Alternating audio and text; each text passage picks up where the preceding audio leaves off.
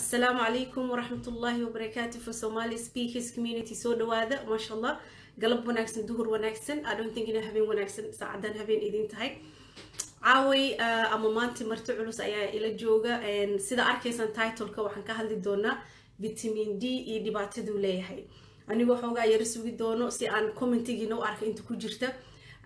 Necessaryna ma aha wallahi inaad maaragta inaa idin wada suga laakiin i know inaad sheer garaynaysaan in uu maaragta yahay barnaamij aada u qiimo badan. Safiya ahaana really waa idin xiisay inaan soo galo oo aan faa-iidada aadin ku soo tuuri kara idin ku soo tuuro. Maasha allah waa soo badateen welcome.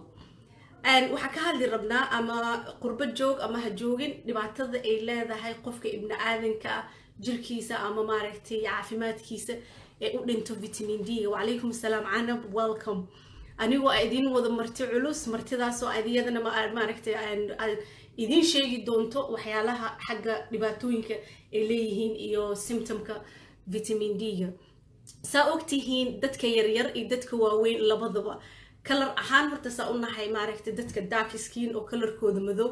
Dhibaato weyn ayuu nagu hayaa marka lack of vitamin ana vitaminka markuu nagu yaryahay so insha allah waxaan maaragtay introduce ku sameyn doonaa dr abshir oo ila jooga. Meesha aan hadda joogana waxaa waaye waa one o eight gold how road oo maaragtay oo aada iyo aad clinic u furan twenty oo furan seven days a week oo ay badanaa dadka maaragtay dhibaatooyinkaas ay u imaadaan maantana waxaa yani igu kalifay waana gadaalna insha allah ila jooga sheergareeya waan ka hadli doonaa linkiga ani waxaan ka hadli doonaa psychological issue. Psychological dhibka uu u keeno vitamin d-ga. Markuu ilmaha teenage-ka yaryar uu ka yaraado iyo dadka waaweyn. So insha allah soo dhawaada. Waa safiya faarax baande waa barnaamijka for somali speakers community. Anigoo aadinla daad qof ay la daadihin doona insha allah oo ku saabsan vitamin d-ga so waxaa idinku yar xaggaaga ku soo wareejin doonaa iskusoo dhawow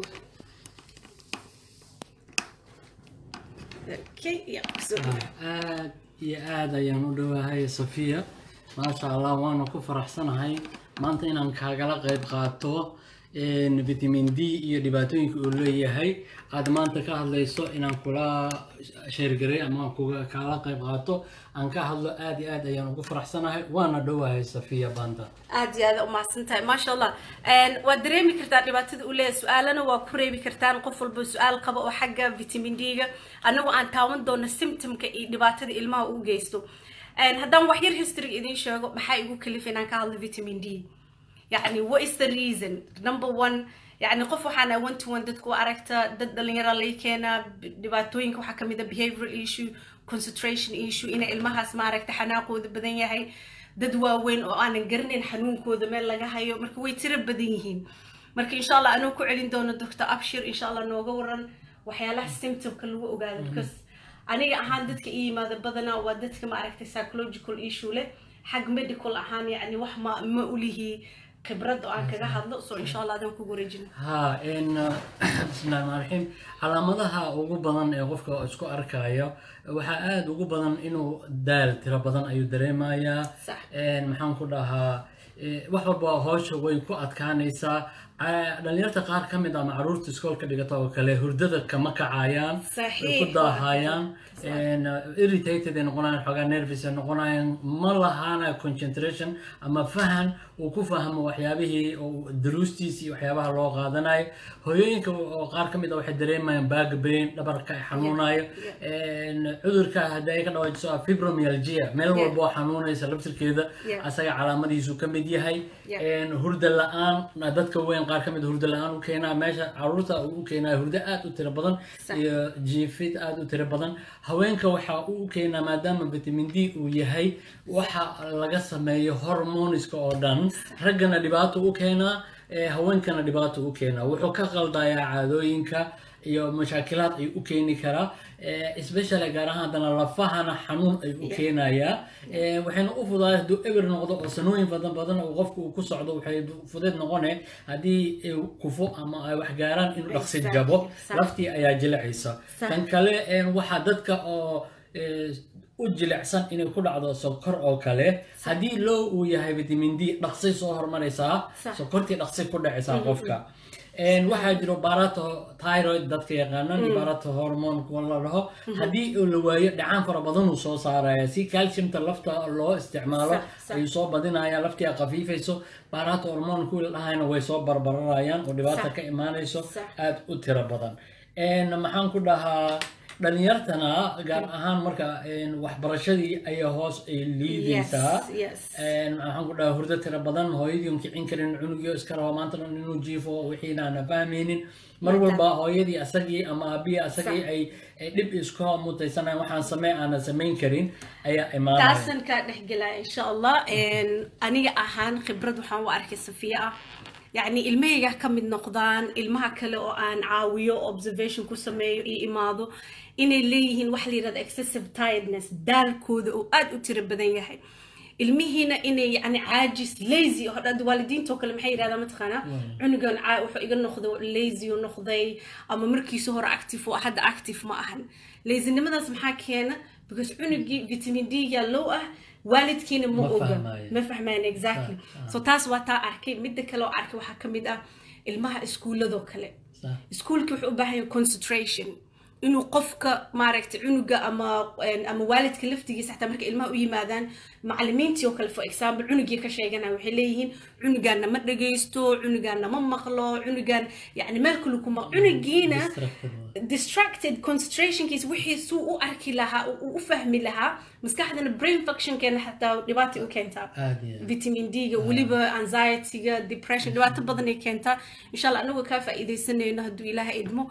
Yacni vitamin d-ga overall maxaa dhihi lahayd dhibaatada oo adoo ku soo ka dhigan een, anoo soo koobayo vitamin d gas la socotaan wuxuu aada uga eh, ka qayb qaataa unugyada jirka oo dhan marka xubin kasta oo ka mid ah asagoo horta marka ugu horeysa lafta qofka biniaadanka uu aada u dheelitiraya calciumtii la soo gelin lahaa jirka ayuu aada uga qayb qaataa.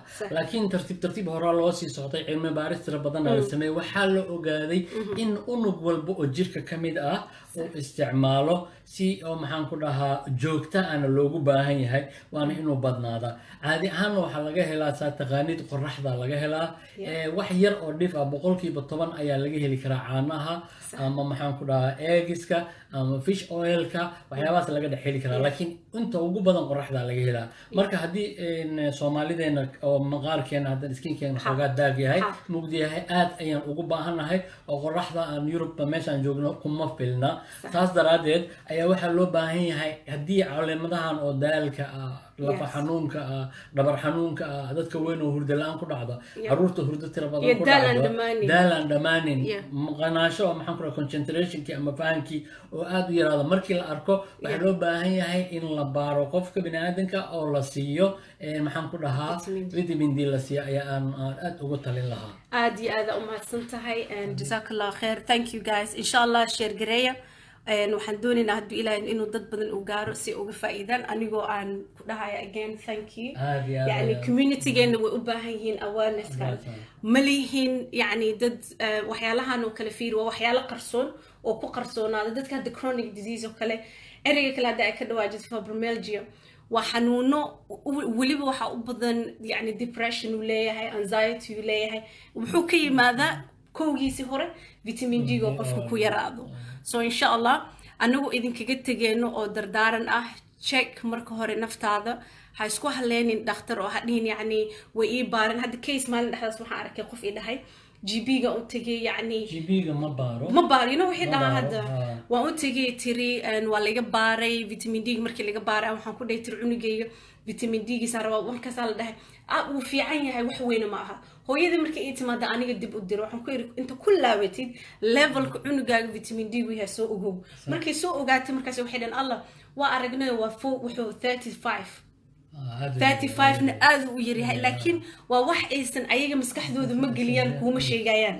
never. Haddana wayba joojiyeen testigaas maba qaadaanba gbiyada laakiin qofka asagaa la rabaa inuu mas'uul iska qaado maaragta uu isbaaro uu ogaado waxa uu yahay. So taasoo kale hadda fiir waa dhibaato weyn Ah, ayaga dadka waxay ku xisaabtamayaan in g b-ga dhiigaga markuu qaadaya uu ku jiro. Marka hubsada inuu ku jiro badana kuma jiro. Very good, very Ah, inuu ku jiro vitamin d kee waaye warqadana xaqa u leedihin inaad ka soo qaadateen resultaga g ogaatay markaas haddii aad ogaatay inuu low yahayna sax. Haddii aad fiican tahayna waaba fiican tahay thank you. Insha allah sheergareeya wixii faahfaahin hadda u baahataan. Lambarka meeshaas uu ku qoran yahay inala soo xiriira. Waana mahadsantihiin dhammaantiin. Assalaamu calaykum waraxmat wabarakaatu